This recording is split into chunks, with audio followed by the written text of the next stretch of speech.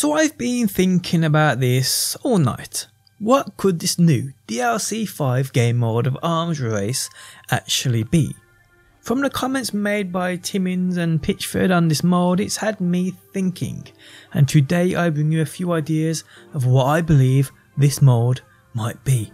How's it going guys, my name's DPJ and if you enjoyed the video, leaving a like really helps out, and if you like what you see and want to see more, be sure to subscribe. Also, before we go any further, for all your gaming needs, no matter the platform you play on, at amazing prices and incredible weekly deals, check out G2A, linked within that video description. Okay, so with DLC 5 we get a new game mode called Arms Race. Now we have a couple of clues of what this could be, and it's these clues which have had me thinking. So from the recent GameSpot interview, where Timmins and Pitchford stated a few things, I believe I know what's actually coming, and this might surprise some people. So they said within their interview with GameSpot a couple of things like this. Our aim with Arms Race is to make the gun game in our game of millions of guns really matter. Pitchford said, it's a totally new game. This changes everything. He also says, so I think some of the folks that maybe are only interested in narrative experiences, we might lose them. But people who love the RPG loot and love that gear fighting experience, and maybe folks who play completely different games, I have a feeling Call of Duty folks are going to turn their head and go, wait a minute, what's this? Even some Battle Royale people are going to go, that sounds interesting, I want to check it out.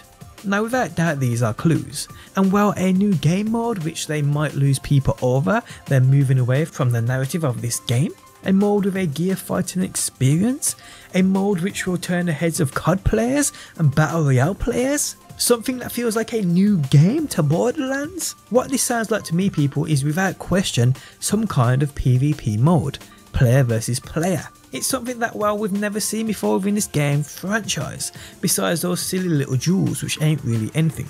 But all that said actually makes sense to be some kind of PvP mode. Something that will turn the heads of COD and BR players.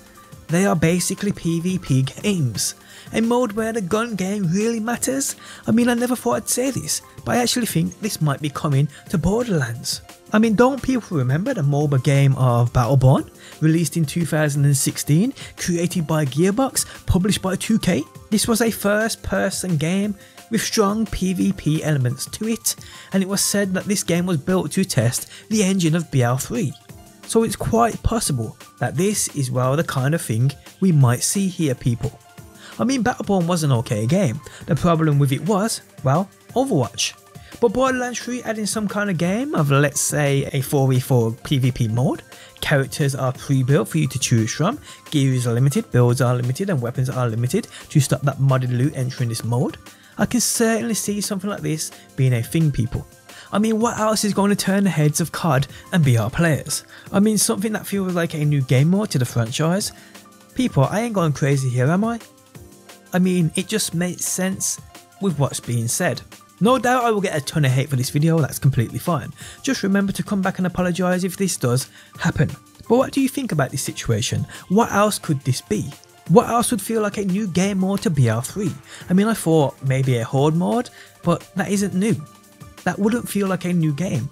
The only thing I can think of is something that's tied to PvP something that is tied to player versus player. But let me know your thoughts on this down below in that comment section. Let me know if you think I'm going mad, that's completely fine. But also let me know what you think this could indeed be people. But on that note we have come to the end of the video. If you guys enjoyed it leaving a like really helps out. If you're new around here and want to see more BL3 be sure to subscribe and if you never want to miss a video I upload you can turn notifications on by hitting that bell button. But guys thanks as always for stopping by. Hopefully you enjoyed the video and hopefully I will see you on that next one.